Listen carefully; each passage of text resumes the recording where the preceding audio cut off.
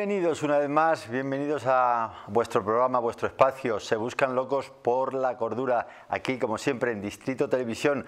En esta ocasión hemos optado una vez más por el, por el buen cante, por el buen cante flamenco que tanto nos gusta y para eso hemos pedido la colaboración de nuestra buena amiga, una excepcional cantadora gaditana como es Naike Ponce. Vamos a comenzar el programa con ella, después ya sabéis que está la sección España Calidad y junto a nuestros compañeros nos vamos a ir hasta la Grada Mágica, un lugar mágico, valga la redundancia, donde ver ilusionismo de muy alta calidad. Grada Mágica y todo ello aquí, en vuestro programa Se Buscan Locos. Ah, y que no se me olvide, os recordamos una vez más, en este programa respetamos siempre a todo el mundo, pero muy claro lo dejo y lo voy a seguir dejando. Somos en el ámbito de la política neutrales totalmente. Comienza vuestro programa Se Buscan Locos por la Cordura.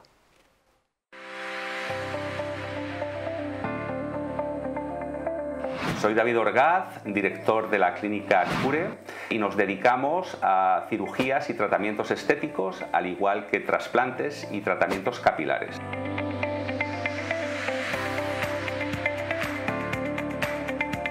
Si desean más información sobre nuestros tratamientos capilares, pónganse en contacto con nosotros. Estamos en la calle Alonso Cano 85 y estaremos encantados de atenderles.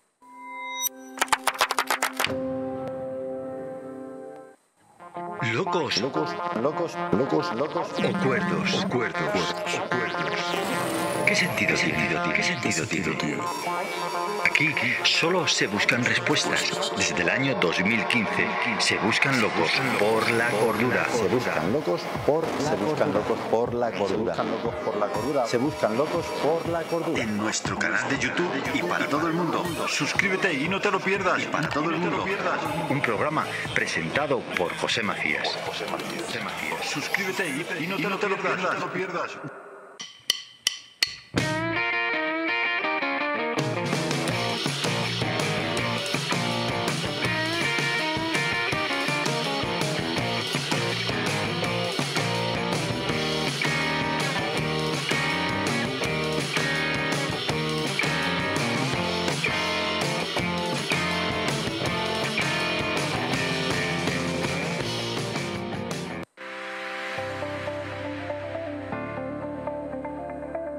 Soy David Orgaz, director de la clínica Cure y nos dedicamos a cirugías y tratamientos estéticos, al igual que trasplantes y tratamientos capilares.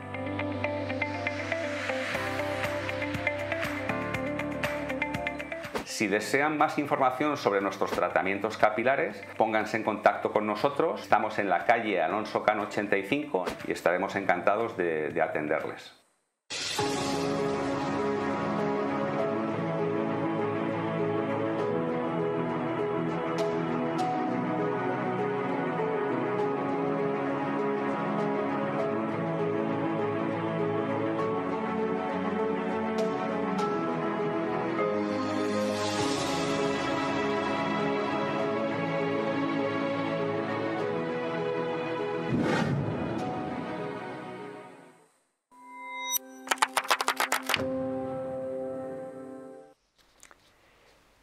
Es eh, poder estar aquí, qué agradable es poder estar aquí una vez más con todos vosotros y sobre todo pues eh, con una gran amiga, con una gran amiga que nos conocemos de hace bastante tiempo y que siempre he admirado mucho como persona y en cuanto también, por supuesto, en cuanto a su arte. Eh, estoy hablando de- del cante flamenco, un arte mm, pues que, que yo, pues, bueno, muchos de vosotros sabéis que yo pues eh, siempre abogado mucho ¿no? por el flamenco. De hecho, hemos hecho programas de radio durante mucho tiempo hablando de este arte tan alucinante, tan obnubilante como es el flamenco.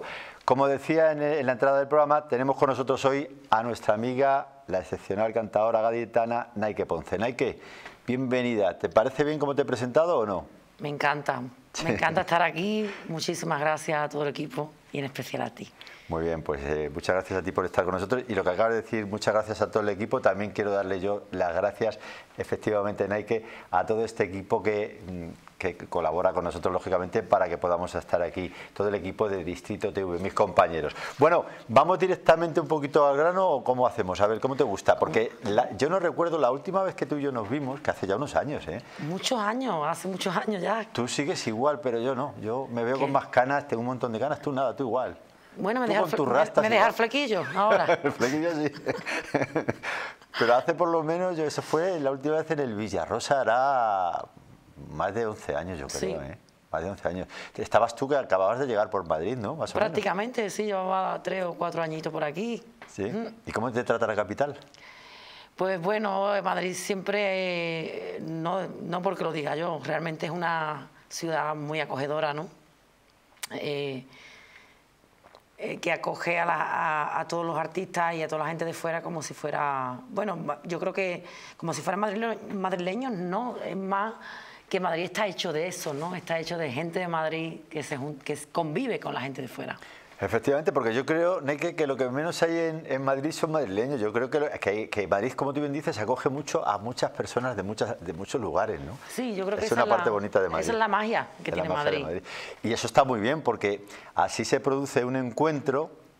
No voy a utilizar la palabra fusión, que dicen que el maestro, al maestro Paco de Luciano le gustaba mucho utilizar el término fusión, sino encuentros. ¿No? Y se producen esos encuentros. Claro, tú vienes, por ejemplo, de Cádiz, ¿no? Pues bueno, pues tú traes tu, tu forma de ser de allí, el otro del otro lado, el otro del otro lado, y se producen esos encuentros tan bonitos y tan necesarios, ¿no? Sí, ese aprendizaje y, de donde eh, todos nos alimentamos de todos, ¿no? Al final. Así es. Oye, te he preguntado que cómo te trataba Madrid. Me has contestado, pero ahora la inversa, ¿cómo le tratas tú a Madrid? Vaya pregunta, esta no te la esperabas. No, esta no me la, esperaba. Esta no te la esperabas. yo, intento, yo creo, creo que bien, que la trato bien. Creo que, que, siempre, no a Madrid, sino a cualquier sitio que voy, siempre intento ir con, con el corazón y, y, con la verdad de, de, mi momento, ¿no? Porque creo que el artista eh, tiene que, que, expresarse como se siente en, en, en, ese momento, ¿no? No pensar cómo hacer el cante para llegar allí o, o para llegar aquí, sino más bien dejarse sentir y, expresarse en ese momento. Y yo creo que cumplo esa, esa norma. Soy un artista bastante visceral. Es que sabes qué ocurre, eh, creo yo, creo yo, vamos, creo yo no, estoy completamente seguro en el caso de Nike Ponce y en el caso de muchos otros grandes artistas que existen, ¿no? Que cuando un artista sube al escenario, si no se lo cree él lo que está transmitiendo, si no es de verdad, el que está enfrente no es tonto, ya te lo digo yo los tontos no existen ya, eso ya se acabaron. Entonces la gente se da cuenta y dice, bueno, eh, esto es un poco impostado, ¿no? Mm, sí, la, gente se da cuenta porque al final la música, el arte, cualquier tipo de comunicación eh, es también energía, ¿no? Y, cuando hay cosas escondidas, no, a lo mejor no se sabe qué, pero se ve que no es natural o se ve que hay algo que no, que no fluye con naturalidad. Creo que incluso hasta el que no sabe de música se puede dar cuenta cuando alguien imposta. Efectivamente. Bueno, vamos a hablar un poco de tus inicios, que yo sé que es lo usual en las entrevistas y tal, pero está bonito, está bonito hablar de... Sí, claro, a mí me gusta mucho hablar de mis inicios. De cómo se inicia, cómo te iniciaste tú en este caso, en este mundo del flamenco, porque mm, tú eres una cantadora flamenca ante todo, ¿no? Aunque también has hecho, estás haciendo copla ahora y demás. Y... Me gusta la música en general y yo soy, creo que me considero músico antes que, que, flamenca por mi, por mi capacidad de, amplitud mental primero, ¿no? Eh, pero es verdad que yo vengo del flamenco tradicional, yo vengo de, eh, o sea, como cualquier gaditana, em, empecé bailando sevillana de niña, siempre quise ser bailadora, hasta que mm, me descubre Encarnación Marila Sayago. Ella es la que tiene el peso, la que realmente descubre mi cante y, es la que me dice, no, tú tienes también que, cantar, no solamente bailar. Ella quería que yo fuera una Marisol, una Lola Flores, ella me ponía esos ejemplos. Ella era una artista de esa época, ¿no? Que cantaba y bailaba. Y bueno, yo al final eh, vengo del baile, soy amante de la danza en cualquier, en cualquier hasta ámbito. En cualquier ámbito en hasta la, hasta la natación, hasta la que bailan en el agua me gusta.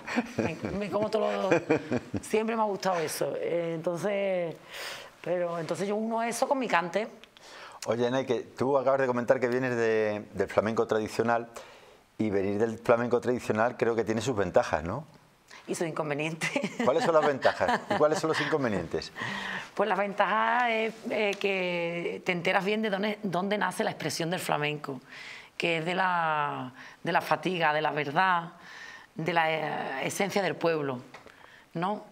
de labrarte tu futuro, de los valores esenciales del ser humano, de compartir, del cachito de pan, del abrazo, del amigo, de todas esas cosas.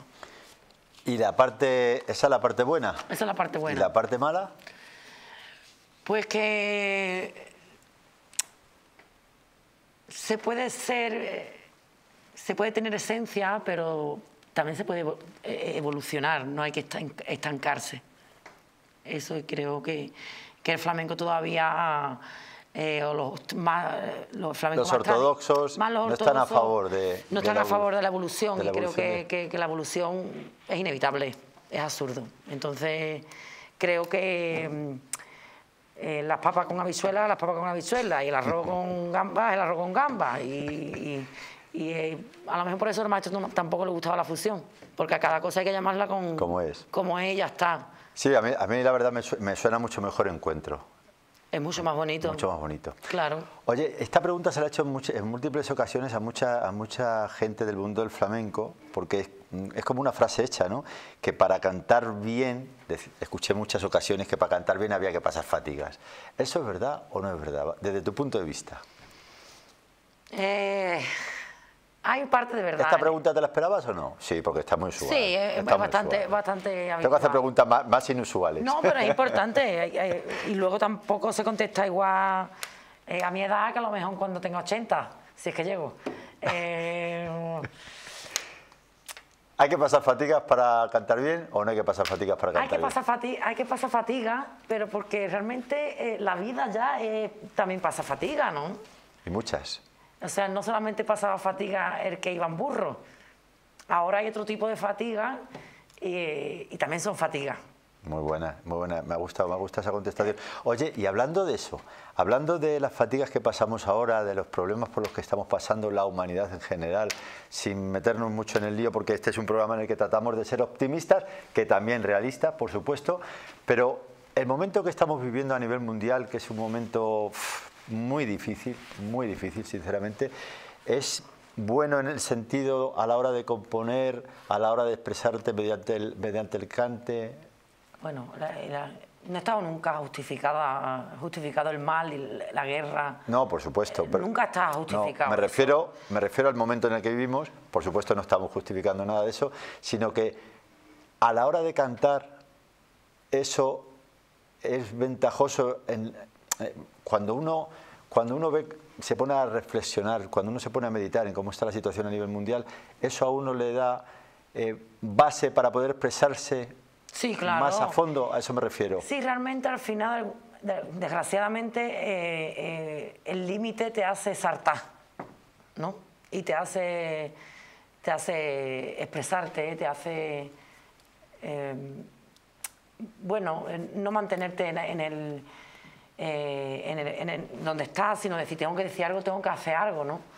no, no, eh, permanecer en, el anonimato, sino hacer algo de, alguna manera, ¿no? ¿A eso te refieres? Eh, como, como el, refrán ese de las ranas, no sé si lo sabes. El de que se murió la rana, no porque el agua estuviera caliente, sino ah, porque no saltó a tiempo. Sí, sí, sí, que la van calentando poquito a poco el agua. Exacto. Ya. De alguna manera, cuando el agua está caliente, hace que la gente salte. A ti te pilló un poco esa, esa historia, ¿no? Cuando la, famosa cuando la famosa pandemia. Yo sarté. Con tu álbum Vivir. Exacto, yo, fíjate tú que yo estaba eh, lanzando un, un, disco que se llamaba Vivir, cuando todo el mundo estaba muriendo, en ese momento cuando no se sabía qué iba a pasar, y estaba hablando de, de las emociones básicas del ser humano. Pero justamente encontré el sentido por qué salía en ese momento porque yo mi, intención con ese disco siempre fue eh, que la gente pudiera sentir que, que no están solos en sus emociones, que a todos nos pasan las mismas cosas en una cierta medida o en otra, pero que todos nos sentimos abandonados, todos nos sentimos alegres, contentos, amados, eh, desterrados, eh, bueno, toda esa eh, la soledad que es tan mala también, y todo el ser humano somos iguales. Ahí es donde yo quería llegar, en la parte básica de las emociones. Y fíjate, lo saqué en ese momento tan duro y me, me dio esa, esa, esa ventana para poder ver cómo todos somos iguales. Mira dónde estamos. Y efectivamente, además los seres humanos no cambiamos, no cambiamos con el paso de los tiempos. Eh, cosas tan nefastas como que digo yo, el egoísmo, por ejemplo, pues es una constante en la, en la historia de la raza humana y, efectivamente no cambiamos, siempre, siempre somos los mismos. Bueno, pero vamos a centrarnos en cosas positivas, ¿no? Eh, este álbum en el que estamos hablando, mm, Vivir, a ti te dio muchas satisfacciones. Muchas, muchas. Fue, era un álbum con el que soñé durante mucho tiempo. Yo quería hacer flamenco tradicional, de hecho eh, todos son palos tradicionales, pero hacerlo a mi manera sin tener, sin tener limitaciones, ¿no?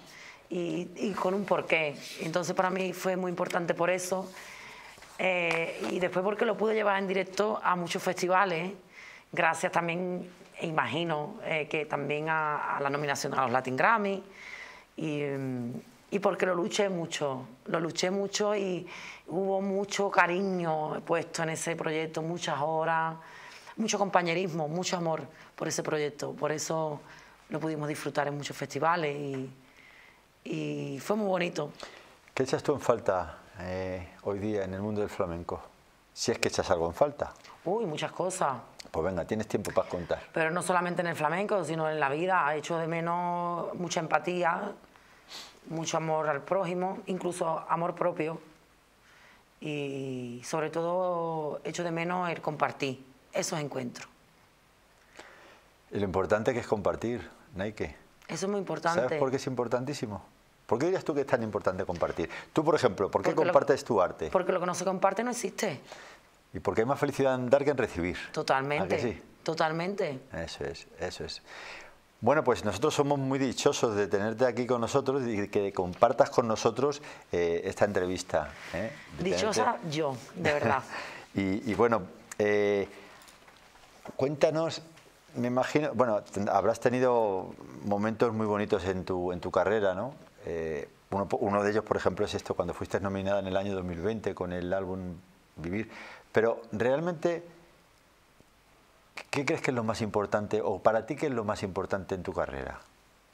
Lo más ¿Las nominaciones? O qué, es lo más importante para ti? Lo más importante es poder eh, hacer mis proyectos, subirme al escenario haciendo mis proyectos eh, o incluso colaborando con otros artistas, pero siempre desde, desde el sentimiento verdadero, ¿no? Si de verdad me apetece eh, colaborar con ese artista, no porque me pague X y le haga un coro porque me hace falta y se me paga la casa.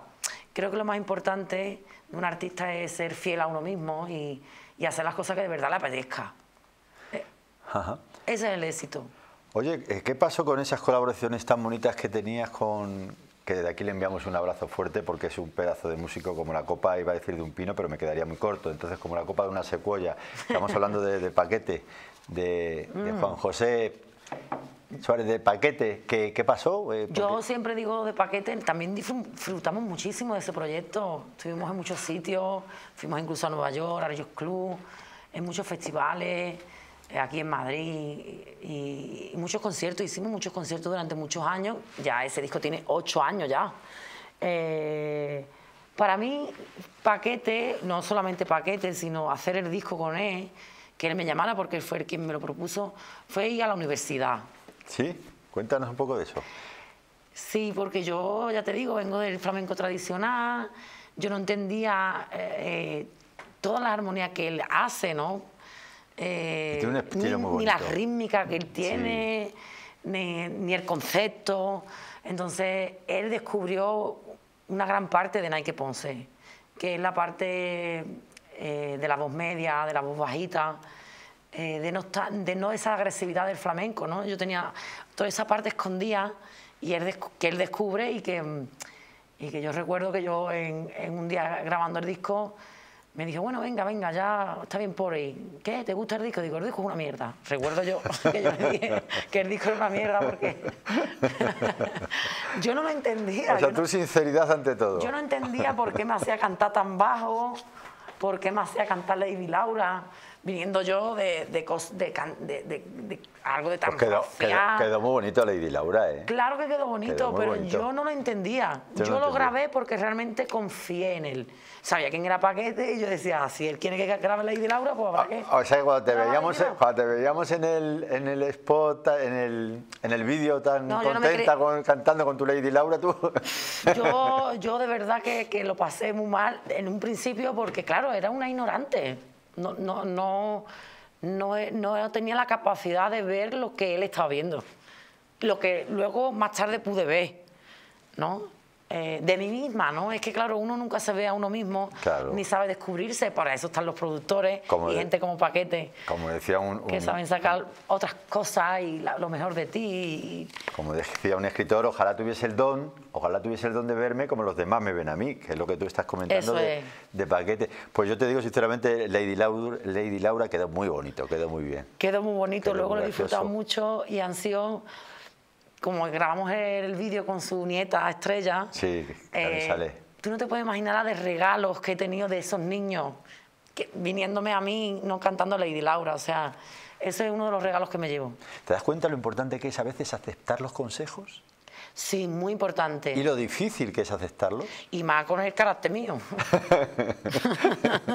Pero, sí- pero fíjate, cuando uno acepta consejos, a veces se encuentra pues con cosas luego muy bonitas, ¿no? Sí. Sales un poquito de esa de ese yo soy el ombligo del mundo y no lo digo por ti ni mucho menos, lógicamente, lo digo por mí, lo digo por sí, mí, de, ¿eh? de- lo digo por mí. de querer llevar la razón De querer llevar la razón. Bueno, pues a veces es mejor no llevarla, es mejor dejarse aconsejar y bueno, pues, eh, pues surgen temas y cosas tan bonitas como este, este tema que estamos comentando, Lady Laura, en, en la voz de, de Nike Ponce y con la guitarra y la música de, de- de Juan José Suárez, del paquete.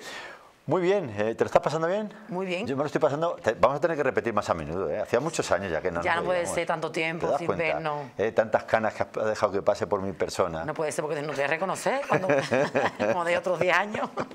Bueno, eh, también me imagino que, claro, eh, has enfrentado muchos desafíos en tu carrera, ¿no? Todo lo que... ¿Y, y sigues enfrentando? Sí, Lo que pasa es que tú eres guerrera, ¿eh? eh, Tú pero, eres, tú pero eres bueno, guerrera en si- el buen sentido de la palabra. Si no hubiera desafío, eh, se acabaría la vida, ¿no? No, no, al final la vida es un desafío en sí, ¿no? Y yo le agradezco a esos desafíos porque me hacen aprender y, y bueno, y también ser humilde y, y- y reconocer cuando me equivoco, que creo que es muy importante, ¿no? Muy importante, porque eso es una forma de cultivar la humildad. La humildad es extremadamente importante, Neke. Sí, Y por desgracia, no digo por ti, pero por desgracia hoy día nos persigue a los seres humanos, pero los seres humanos corremos más. Y claro, nos, eh, nos acribillamos con multitud de problemas por no ser humildes. Yo el primero. Pero yo digo una cosa, yo estoy aprendiendo a ser humilde.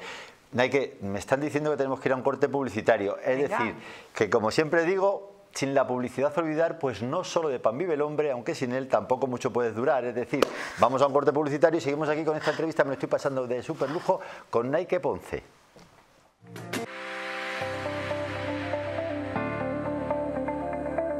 Soy David Orgaz, director de la clínica Cure y nos dedicamos a cirugías y tratamientos estéticos, al igual que trasplantes y tratamientos capilares.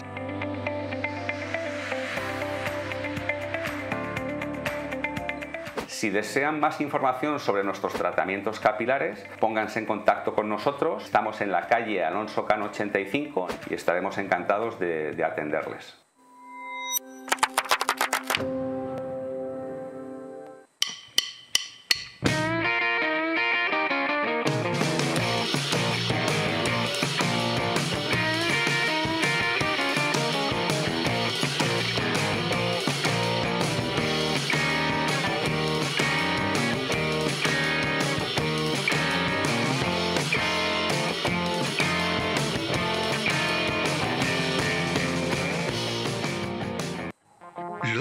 Locos, locos, locos, locos, locos o cuerdos, cuerdos, cuerdos. ¿Qué sentido tiene? ¿Qué sentido tiene? Aquí solo se buscan respuestas. Desde el año 2015 se buscan locos por la cordura. Se buscan locos por la se buscan locos por la cordura. Se buscan locos por la cordura. Se buscan locos por la cordura. En nuestro canal de YouTube y para todo el mundo. Suscríbete y no te lo pierdas. Y para todo el mundo. Un programa presentado por José Macías. José Macías. Suscríbete y, no, te lo pierdas.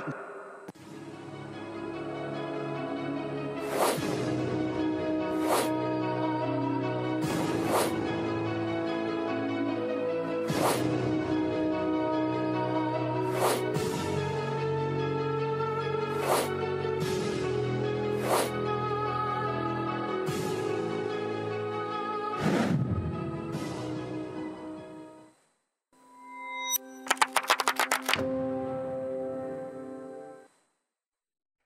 Bueno, no sé, no sé, no sé, o sea, me lo estoy pasando muy bien frente a la cámara, pero me tendríais que ver eh, fuera de cámara, ¿no? También como lo estoy pasando aquí con, con mi amiga Nike Ponce. y bueno, Nike, otro día tenemos que hacer otro programa, pero no hablando de flamenco, ¿eh? Tendríamos que hablar de muchas otras cosas porque de verdad que tenemos, tendríamos para rato tú y yo, ¿eh? Bueno, llevamos dos horas que no paramos. Sí, sí, es verdad, es verdad. Bueno, eh, estábamos hablando un poco de, la última pregunta que te hice fue desafíos, ¿no? Desafíos que, has enfrentado en tu carrera y que me imagino que también sigues enfrentando, ¿no? Y me estabas comentando, ¿está difícil eh, hoy día el mundo del flamenco, Nike? Eh, yo creo que está muy difícil, sí. Es verdad que mm, son otro tipo de dificultades, ¿no? Igual que, igual que la fatiga, pues eso, otro tipo de fatiga, pero eh, está todo muy difuminado, todo el mundo tiene que, saber hacerlo todo, el artista tiene que eh, ser manager, productor, eh, booking y, la que hace la foto y la edita y el vídeo y no sé qué, o sea... Y no hay tiempo. es que no, no, Es muy complicado, también hay, mucho, hay como una moda de... Toda la gente joven quiere ser artista, ahora es, es guay ser artista es un privilegio ser artista, porque ah, lo pues, es. Pues a mí, a mí no me decían eso, a mí me decían que ahora todos los jóvenes quieren ser funcionarios. Ah, sí. Hombre, habría que pensarlo bien. ¿En qué quedamos? La verdad es que es, muy complicado, porque es verdad que siempre se ha repartido, ¿no? Siempre ha habido eh, trabajo para para todo el mundo, pero no todo el mundo cobra lo mismo. Bueno, yo sigo pensando que tú eres una mujer guerrera y que estás ahí, que los, por supuesto lo haces muy, muy reguete bien, pero sí es verdad, no, que mucho valga, poco aprieta, ¿no? Oye, ¿cuál es el palo tuyo preferido en el mundo del flamenco? Esta es una pregunta usual, de las usuales, pero que, que, Hombre, la tenía ganas de hacerte La bulería es un palo que a mí me gusta mucho porque se puede cantar cualquier cosa por bulería. ¿Ah, eso, cualquier cosa. hay, que, hay que saber, eso es otra, eso es otra cosa. pero se puede cantar cualquier palo por bulería. ¿Y el más difícil para ti cuál es? Eh, es más difícil que no tenga ganas de cantar. bueno, en ese momento. Uno que tenga ganas de cantar, ¿cuál es el más difícil? De, todo el flamenco, que hay, tantos palos y tantos. A mí, me gusta mucho cantar por cantiña y creo que es un, palo muy difícil. Y la gente siempre a lo mejor la achaca más la dificultad, pues yo qué sé, a la sigrilla, a la soleá, que también lo son. Pero no porque sea un palo más oscuro o más más de raíz o no sé. la cantiña también es un cante muy difícil porque tiene mucha armonía, porque tiene muchos cambios. Creo que es un cante bastante difícil. A ti se te da la bien como gaitana además, ¿no? A mí me gusta mucho cantar por cantiña, sí. Ah. Eh, es algo que, bueno, es lo que más he escuchado también, ¿no? Bueno, oye, cuéntanos eh, algunos de los proyectos que tienes ahora en... Dentro de poco tienes una actuación, ¿no? Ahora. Sí, tenemos un un proyecto que se llama Maestros, con arroba, maestros y maestras, eh, donde, bueno, me quise acordar de, lo que siempre cantamos todo el mundo y, no se habla de quién lo cantó, ¿no? Pues, pues Camarón, eh, Paco. Dedicado a los maestros. Dedicado a los maestros, a los que nos antecedieron, ¿no? Eh, Juan Talega, no sé, Daña Los Peines el Olivanué, desde lo más antiguo hasta también a los que abrieron las puertas y hicieron esa, esos caminos alternativos, ¿no? y, vamos a estar en la Cochera Cabaret en Málaga el día 19 de junio. Vamos a, pedirle vamos a pedirles a, nuestros compañeros que, que, nos pongan, que nos busquen este, este anuncio, ¿no? Este, el cartelito. El cartel, sí, el cartel, ahí le tenemos, efectivamente. Eh, es el día 19 de junio a las... A las 9 de la noche. 9 de la noche. Estaré acompañada de Sergio Queco, un guitarrista malagueño maravilloso, y, y mi querido y amigo Alejandro Escalera, un gran genio de este tiempo. ¿Ves? Es que hay mucha gente como él que no se, la gente no se entera. Qué bien sales ahí, ¿eh? en ese cartel. Sí, es una foto que me hicieron en San Lucas, todavía no tenía el flequillo. Está muy bien esa foto. Bueno, pues ya sabéis, el día 19, el día 19 hay que estar ahí eh, para ver eh, esta actuación de, de Nike Ponce, dedicada a los grandes maestros, grandes maestros del cante, que sí que lo eran, ¿eh? y grandes maestros. ¿eh? Yo recuerdo yo recuerdo escuchar cuando, cuando eh, estuve con Camarón, cuando le escuchaba cantar, porque claro, no es lo mismo escuchar, escucharle, pues eso, en un disco, ¿eh? que estar, tenerle ahí. Y, y, yo recuerdo cuando le tenía ahí, pues a él ahí, a Pepa Flores aquí, y yo, por ejemplo, en el medio escuchando, y, decía, y yo decía, madre mía de mi vida, pero ¿de dónde ha salido esta gente? Estos mm. son extraterrestres. Total. Vienen de otra galaxia, como decía Camarón en, en uno de sus temas, el de otra galaxia que lo compuso Antonio Humanes, ¿eh? en el álbum Te lo dice Camarón. Año 1986, se grabó en los estudios Sonolán, ahí estaba yo, tuve la dicha de estar ahí, imagínate, Qué suerte. Qué suerte tuve, sí. Yo, claro, fíjate tú, yo en el 86 pues, era, un bebé. Tú no habías nacido. Entonces yo, yo, no pude, yo no tuve esa suerte de, Bueno, a Camarón no tuve esa suerte de conocerlo. Es verdad que he tenido una gran suerte. He visto a muchos eh, artistas jerezanos, sagas jerezanas en directo y eso me lo llevo yo también, ¿no? que, he visto, he podido ver a muchos artistas gaditanos en directo, como eh, mucha gente que se fue, La Paquera, todos los Zambos, eh, he podido ver festivales grandes de, de estos de los que acababan por la mañana. Imagínate. Y, pero sí, a Camarón no tuve la suerte, por ejemplo. Bueno, Nike, mira, me están diciendo que tenemos seis minutos y yo quiero aprovechar muy mucho esos seis minutos porque no todos los días se tiene Nike Ponce en el programa. Entonces yo me voy a atrever a hacer algo atrevido, valga la redundancia. Oye, ¿tú me puedes cantar un poquito un tema así, una, una bulería por soleá, puede ser o no? Venga. ¿Sí? Venga. A ver si cojo el tono bien, ¿vale?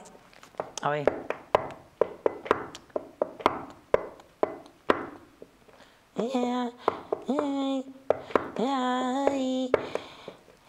Ayer dijiste, primo mío, que me será tu vida menos.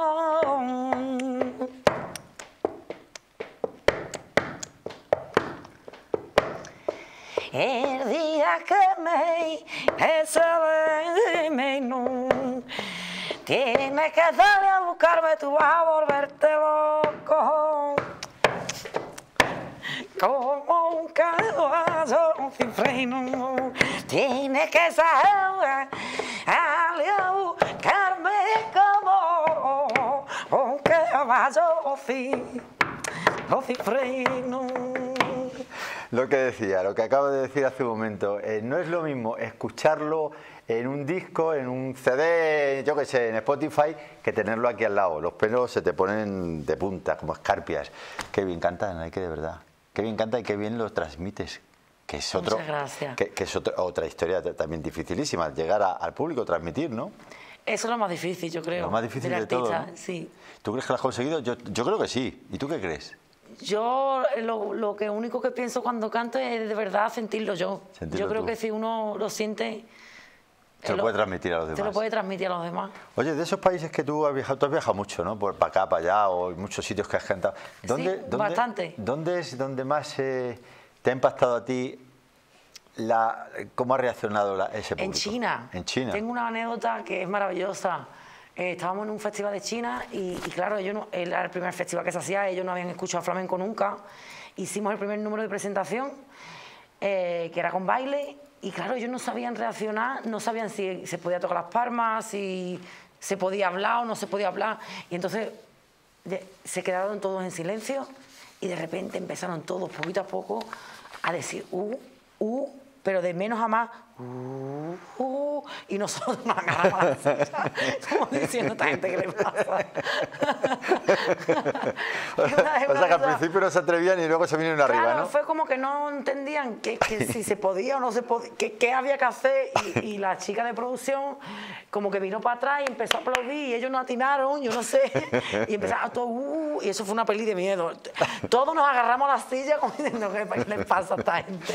Oye, eso, eso en cuanto a más, ¿no? Eh, la, y, y, y en el bueno, más que, no. No, más, más. Digo, impresionante, ¿no? Por lo menos eh, inusual, ¿no? No, me refiero en el sitio en el que más eh, te ha impactado y en Sí. el que menos has notado tú el público así tan expresivo, ¿dónde ha sido? El, eh, ¿Dónde has visto el público más frío? Bueno, el- frío. Bueno, en Noruega hace mucho frío. ¿Eh? no sé, no, tengo- no recuerdo ahora si... No quieres quedar mal con ningún país, vaya. La verdad es Lo, que... lo dejamos ahí, no te Venga, preocupes, ¿vale? ahí, Venga, sí. sí. Porque si no, luego a lo mejor dicen en ese país, pues ya no contratamos más a Ena que Ponce, que ha dicho No, que somos muy hombre, fríos, por Dios, somos muy fríos aquí. No. Bueno, oye, ¿cómo manejas el, el tema del estrés y la presión antes de, de salir a, a una actuación? ¿Qué es lo que haces tú? A mí yo creo que, este- que me dejen sola tranquila. ¿Sí? Sí, a mí me da mucho coraje la gente que me echa antes de cantar, chiquillo. Yo estoy pensando en, no sé, no, eh, tampoco tengo un ritual así, pero sobre todo me gusta estar tranquila. ¿No te gusta que te den la brasa antes de salir al escenario? Así de ni sencillo. antes ni nunca. Ni después ni nunca. bueno, nos quedan, nos quedan dos minutos, Nike. Eh, me imagino que, bueno, en este tiempo, por lógica, ¿no? En tantos, vamos, desde que llegas aquí a Madrid hasta ahora, pues eh, tu concepto en cuanto al ámbito de la música ha cambiado mucho, ¿no? Muchísimo. Soy otra persona, soy otro músico, ¿no? Otro, otro artista totalmente diferente. Es verdad que mi esencia no, no ha cambiado porque tengo, soy quien soy y, y eso no cambia nunca, la esencia no cambia nunca. Pero es verdad que- que Madrid eh, me ha dado toda la libertad, me ha dado el resto de los grados, ¿no? De volver la cabeza, ¿no?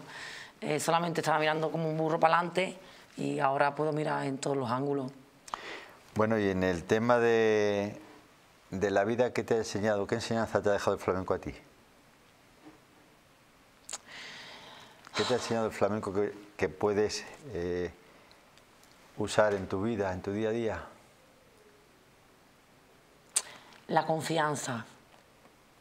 Mira, cuando los músicos trabajamos juntos, aunque no nos conozcamos de nada, ¿no? Por ejemplo, yo llego a un tablao o a un bolo y aunque no nos cam- no conozcamos de nada, tú estás confiando en que el otro va a hacer lo que tiene que hacer. Es su papel. Qué, qué bonito, qué bonito, sí, efectivamente, confiar en el, en el compañero, ¿no? Sí, Pues está bien. se puede equivocar. Es decir, también dentro de esa confianza eh, se permite el error. Y el otro te va a salvar. Esa es la confianza. Eso es lo más, más bonito que, que la música tiene. Qué bonito, me ha gustado mucho lo que has dicho. Es verdad, es una buena enseñanza, ¿eh? Es El una buena enseñanza y- En este mundo en el que... hay no tanta- ocurre tanto en la vida real y sin embargo, o sea, no ocurre fuera del escenario y sin embargo te sube y no te queda otra que confiar en que el guitarrista va a tocar la farceta, te va a acompañar. No, no, es que no hay tu tía. ¿Sabes qué? Que la pena de esto de la televisión es que nos tenemos que despedir ya, porque, pero vamos, después de lo que has dicho me No, voy... pero amenazo con volver. No, no, yo encantado, Nike, yo encantado, y nosotros encantados, ¿verdad?, de que Nike esté, vuelva a estar aquí con nosotros. Bueno, Nike, muchísimas gracias por estar A con ti. nosotros, ha sido un placer. Nos tenemos que ir otra vez a un corte publicitario y os recordamos, acto seguido, eh, la sección España Calidad y de Oca a Oca tiro porque me toca. Nos vamos a otro escenario, nos seguimos con los artistas, pero en esta ocasión nos vamos hasta la grada mágica eh, en el- con el mundo del ilusionismo.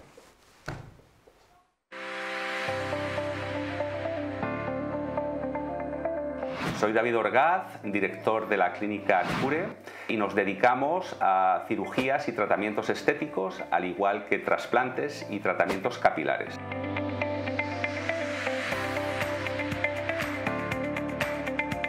Si desean más información sobre nuestros tratamientos capilares, pónganse en contacto con nosotros. Estamos en la calle Alonso Cano 85 y estaremos encantados de atenderles.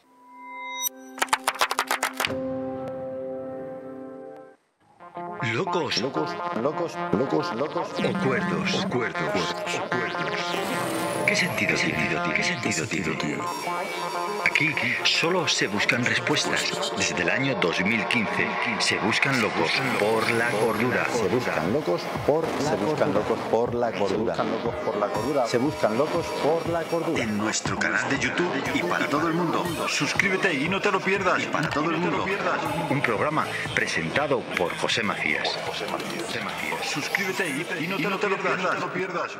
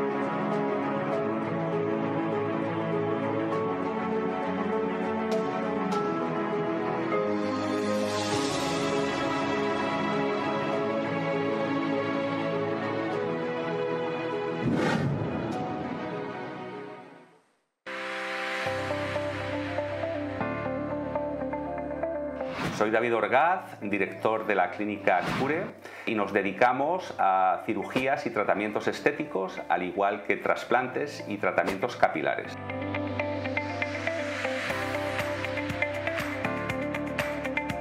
Si desean más información sobre nuestros tratamientos capilares, pónganse en contacto con nosotros. Estamos en la calle Alonso Cano 85 y estaremos encantados de atenderles.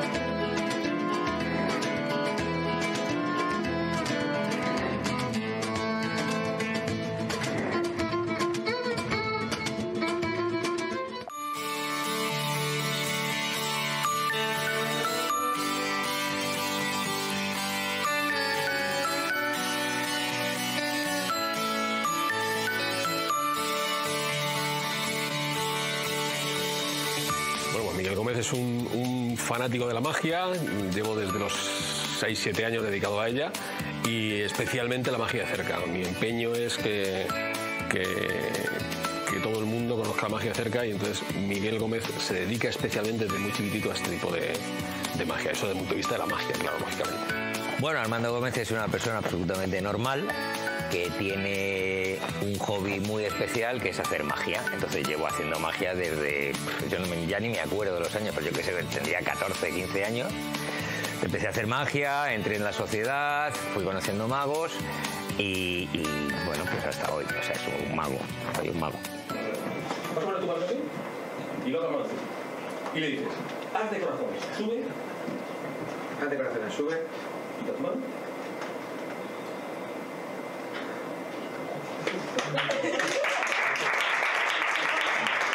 La idea de tener siempre un sitio bueno para actuar, la todo el mundo la tiene y tal, pero yo eh, fui a ver un espectáculo eh, de un mago norteamericano que se llama Ricky Jay. En, un teatrito al lado del- de, Bro- de Broadway, de, mm, de unas ciento y pico personas. Realmente era un teatro no como esto, ¿eh? pero el show era un show de magia de cerca eh, con algunos elementos más. Mm, y entonces, cuando volví, le digo, me acuerdo que le comenté a Armando, digo, yo creo que eh, hay, eh, esto da otra dimensión a la magia, ¿no? Tenemos que montar un teatro de magia de cerca. Y además, Armando, como siempre que le digo algo, dice, venga, vamos a hacerlo mañana, ¿no? Es el que me, me pone las pilas, ¿no? Pues la idea quedó ahí. La verdad que no, no es una cosa sencilla de realizar, ¿no? Pero ahí fue la primera idea. Y luego ya yo lo tenía en la cabeza, cómo quería que fuese, porque realmente aquello, aquello que vi allí no tiene nada que ver con esto, es, es distinto, aquello era un teatro para hacer obras de teatro. Pero la idea de que hubiese una, una posibilidad de ver la magia directamente, por un lado, sin necesidad de una cámara accesoria, eso limitaba el espacio, pero sí permitía una potencia mágica muy, muy fuerte. Y en segundo lugar, lo que eso sí me lo sugirió aquel, aquel espectáculo de Erguille, es los medios técnicos, la idea de que pueda haber luces, sonido, posibilidades que siempre ha tenido el teatro, aplicarlas a la magia de cerca era algo, algo maravilloso que había que probar.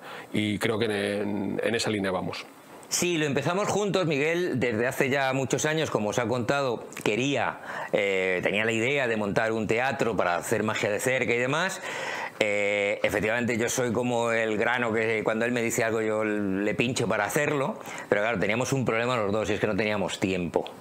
¿eh? bueno, por circunstancias, al final yo empecé a tener tiempo, podía hacerlo por las mañanas, tenía este local. Y entonces le dije, yo tengo esto, pero nos lanzamos. Y estuvimos aquí mirando, nos lanzamos.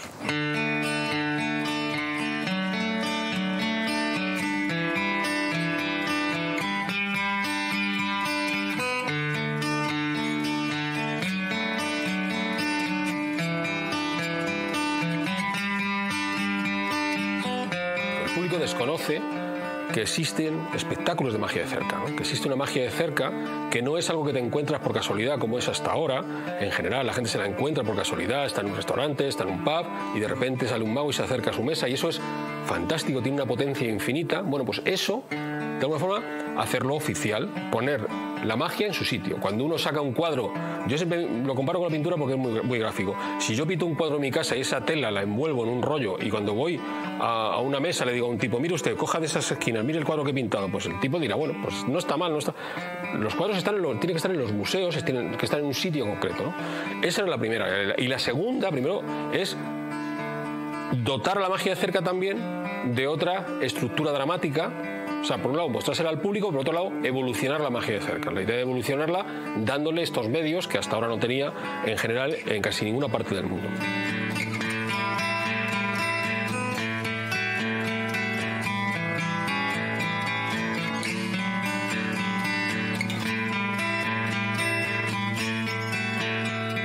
Te cuento, Grana Mágica, aparte de un espacio y demás, eso es algo más que lo que nos ha contado Miguel. Y es una asociación, una asociación que trata de mm, eh, hacer que la magia llegue al público eh, y que pueda entender y que pueda ver, o sea, no, no dar clases de magia, sino que el público entienda pues qué hay detrás de todo un espectáculo y demás. ¿no? En esa línea eh, tenemos, pues hacemos conferencias para público profano donde les explicamos absolutamente gratis, ellos vienen a, la base de gente que tenemos, ¿no? Les mandamos un correo, ellos vienen, se sientan aquí, les hablamos pues de Arturo, les hablamos de Pepe Carroll, al que por cierto está dedicada la sala, porque era muy amigo nuestro, y, y ve todo, ¿no? Y el público se va encantado porque va aprendiendo determinadas cosas que normalmente tú vas a un espectáculo de magia y nadie te cuenta, y nadie te cuenta.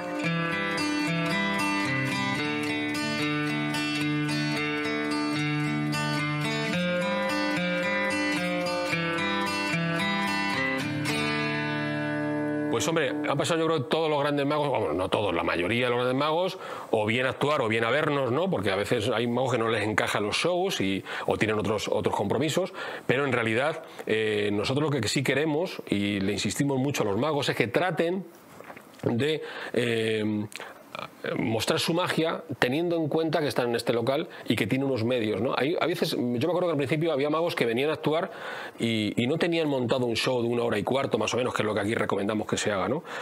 Hacían magia de cerca, pero no tenían algo montado con una estructura. Después de tres años hemos visto que la mayoría de la gente ya no solo piensa en las estructuras, sino que además piensan que hay unos medios técnicos y que ahora se puede hacer un blackout y ahora puedo poner un cañón, ahora puedo crear un espacio de, de silencio, ahora puedo crear, realzar aquí, o sea, cosas que antes en la magia de cerca habitualmente no se pensaban, ahora muchos magos, desde que tenemos esta sala, las piensan así, ¿no? Y, creemos que eso mm, hace que la mayoría les, apetezca muchísimo venir, ¿no?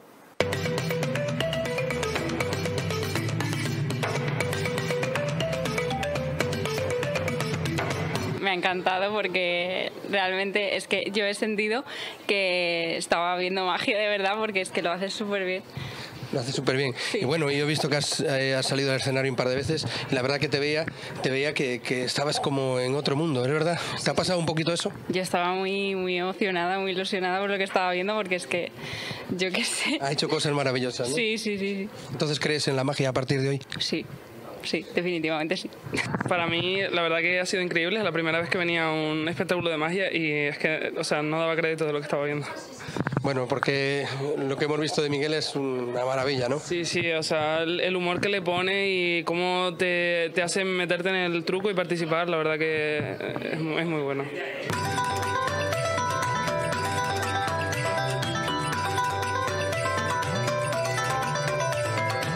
Ahora hemos montado varias cosas, ¿no? Nosotros queremos que haya bloques temáticos ¿eh? Por ejemplo, tenemos un ciclo durante todo el año de magia y poesía con un mago sensacional que se llama Paco Agrado, que hace un espectáculo precioso, dramatizado y demás, que si no habéis venido estáis perdiendo, vamos, la quinta esencia de la magia. Tenéis que venir, esos son dos jueves al mes. Por supuesto, tenemos otros dos jueves al mes un espectáculo con Anthony Blake, ¿eh? con la magia y el mentalismo y tal, que se llama Blake mucho más cerca porque, claro, tú a Blake le ves en un teatro, pero aquí que le tienes ahí a medio metro, un tipo de casi dos metros, te mueres, la gente se muere. Luego tenemos, hemos montado también otra cosa que es eh, ventriloquía, magia y ventriloquía, que es algo que no, es, no se ve, no, no está visto, y entonces hemos, hemos contactado con un mago que es un fantástico ventríloco que se llama eh, Cristian Miró y su muñeco que se llama Mafaldo. Y de verdad es algo, eso es los martes, y eso, eso es algo que ver. Luego los miércoles tenemos la sesión VIP, que es un poco pues como el día del espectador, ¿no? Para que la gente venga, se, emocione viendo la magia muy cerquita, muy no sé qué. Y luego tenemos los otros espectáculos que son ya espectáculos de magos.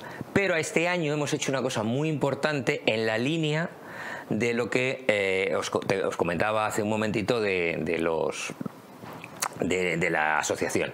Hemos montado una cosa que se llama Tu Espacio Mágico. Y es, se lo hemos dejado a todo el mundo que quiera mago o no mago, que cualquier idea que tengan y quieran llevarla adelante en este espacio, claro, obviamente una idea de magia, que puede estar relacionado pues, con una conferencia, con una charla, con un seminario, con una actuación, con lo que sea, se pone en contacto con nosotros, se lo organizamos y demás, le ayudamos, le ponemos todos los medios sin que a él le cueste absolutamente nada y, se lo dejamos. ¿no? Se llama Tu Espacio Mágico, lo tenéis en nuestra, en nuestra página web y solo tenéis que entrar y eso ya manda un correo y ya nos ponemos en contacto con vosotros y os lo os explicamos ya todo en detallito.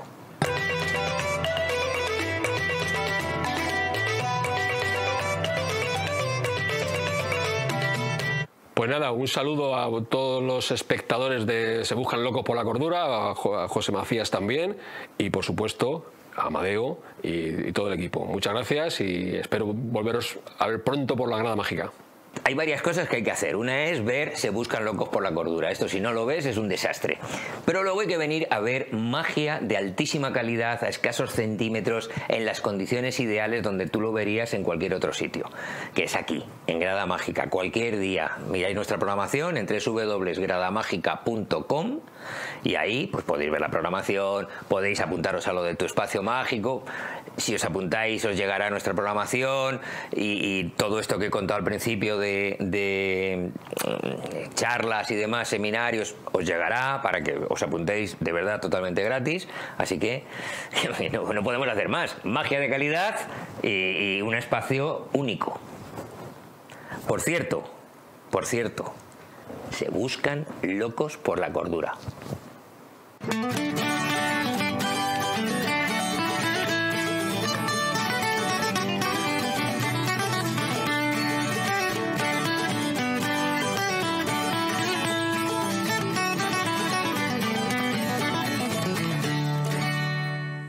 Pues ha sido como siempre un placer estar con todos vosotros. Hasta aquí la sección España Calidad y hasta aquí también el programa de, de, esta ocasión. Si Dios nos lo permite, nos volveremos a encontrar una vez más aquí en Distrito TV, en vuestro programa Se Buscan Locos, ya sabéis, eso sí, por la cordura. Chao.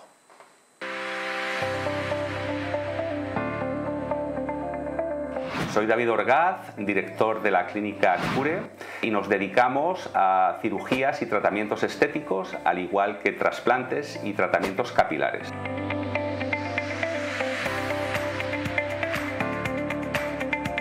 Si desean más información sobre nuestros tratamientos capilares, pónganse en contacto con nosotros. Estamos en la calle Alonso Cano 85 y estaremos encantados de atenderles.